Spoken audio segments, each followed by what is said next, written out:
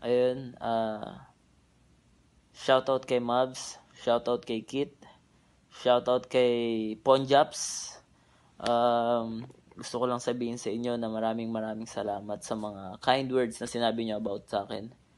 Um, gusto ko lang i-share sa lahat ng viewers ng Mavs Phenomenal uh, Basketball na dati ako nag-training kay Mavs. Um, napakarami namin 6 a.m. workout niyan. Uh, kumbaga, uh, marami ako natutunan sa kanya. Uh, hindi madali, pero uh, kailangan kong mas pagsipagan kasi mas masarap magawa yung hindi madali kaysa magawa mo yung madali.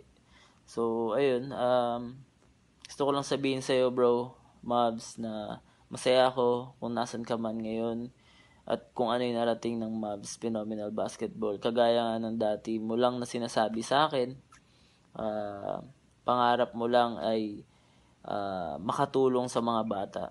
So, marami kasi mga bata na hindi nakaka uh, nakakatanggap or nakaka nagkaka-chance na magkaroon ng tamang workout ng basketball eh. So, may proper workout kasi ang basketball. May may tamang skills workout ang basketball. So nauso yung mga basketball clinic na uh, basta may mga basketball clinic na nauso na basta lang kumita sa isang madaling salita. So uh, iba yung talagang yung bata may matututunan sa sa isang sa isang coach niya.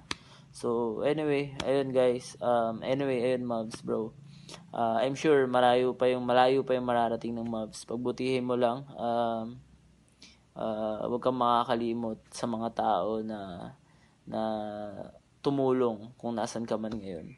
Uh, shout out sa iyo kay Kit. Kit.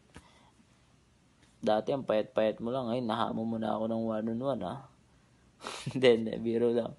Uh, yan si Kit guys. Uh, napakabait na bata niya, napakasipag. Uh, hindi din madali yung pinagdaanan niya. Hindi madali yung buhay ni Kit. Kumbaga, uh, dati, uh, ako nasa PBA na ako nung nag-workout ako kay Mabs. So, si Kit, alam niyo naman, high school pa lang yata si Kit or magka-college pa lang si Kit nung nakasama niya si Mabs. So, I mean, hindi galing din sa mayamang pamilya yan si Kit, pero isa lang yung masasabi ko sa inyo na nakaka-proud yan sa batang yan grabe yung work ethic ng batang yan. Grabe yung hard work. Uh, I mean, grabe yung um, dedication ng batang yan para matupad yung pangarap niya. At minsan nakikita ko dyan sa batang yan na kung minsan kahit na hindi niya na alam kung para saan yung drill na ginagawa niya. Pero dahil may tiwala siya kay Mavs, gagawin niya yun all out. Gagawin niya yun bibigay niya yung best niya para magawa yung workout na yun. Kaya naniniwala ako na someday mararating ni rin, mararating niya rin yung pangarap niya.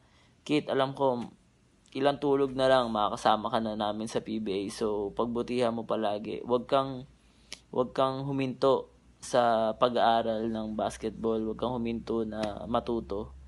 Uh, ayun kay Ponjaps. Ponjaps, uh, hindi kita nakasama sa tawag dito sa Mavs Phenomenon sa training dati pero nakita ko yung uh, work ethic mo nakita ko yung yung focus mo yung hard work mo. Tuloy mo yan bro. Makakarating ka rin sa pangarap mo.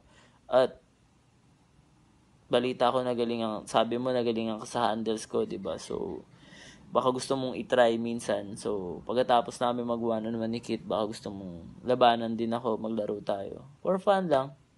Ayun guys, uh, yun lang. Gusto ko lang i-share sa inyo at gusto ko lang uh, uh, i-share din yung appreciation ko sa sinabi ng Mavs family about sa akin.